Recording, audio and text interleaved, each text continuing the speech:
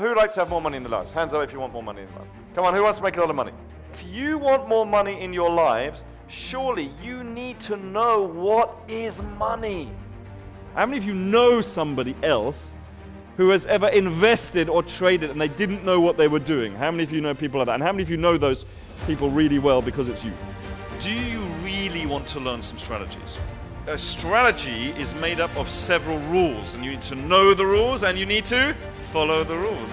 The value cost average strategy. So if it's coming down, what do we want to do? Buy more, a lot more. Why? Because we're getting it really cheap and we want to we want to take advantage of it being cheap. What if it goes straight back up again? Let's buy now. I need you to understand something. Most people think about money, but it's also knowledge. Once you know how to do it with 2,000, you know how to do it with 10,000. If you know how to do 10,000, you know 100,000. If you do it with 100,000, you know how to do it with a million. We have given you a recipe.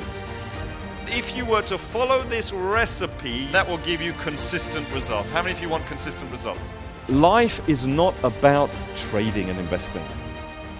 Trading and investing is just a vehicle so that you can have a better life. Which is why the strategies that we teach take about 20 minutes a day. So you can get on with your life. Anyone can do it regardless of sex, age, or physical ability. That's the great thing about this. Is that good?